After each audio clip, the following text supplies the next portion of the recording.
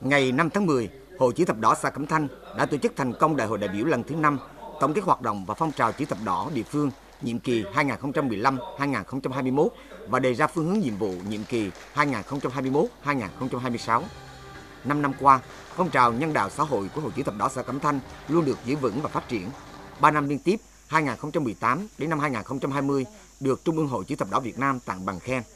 Mạng lưới tổ chức hội từ xã đến thôn tiếp tục được củng cố, kiện toàn, năng lực, hiệu quả hoạt động có bước chuyển biến tích cực.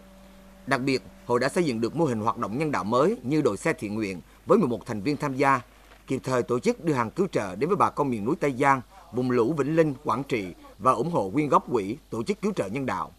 Tổng giá trị vận động từ trong nội bộ hội và nguồn ngoại lực 5 năm qua đạt hơn 1 tỷ 510 triệu đồng để tham gia phòng chống giảm nhẹ thiên tai, cứu trợ tại cộng đồng dân cư. Các hoạt động nhân đạo chia sẻ yêu thương, lan tỏa nghĩa cử cao đẹp không chỉ được duy trì thường xuyên mà còn mở rộng địa bàn hoạt động sang các xã Duy Hải, Duy Nghĩa, huyện Duy Xuyên và nhiều huyện miền núi của tỉnh trong những lúc khó khăn hoàn nạn. Tại đại hội, các đại biểu đã bầu ra ban chấp hành hội chữ thập đỏ xã Cẩm Thanh khóa 5 gồm 21 thành viên và đề ra phương hướng nhiệm vụ tiếp tục đẩy mạnh phong trào hoạt động hội đạt kết quả cao hơn, mang lại ý nghĩa nhân văn sâu sắc.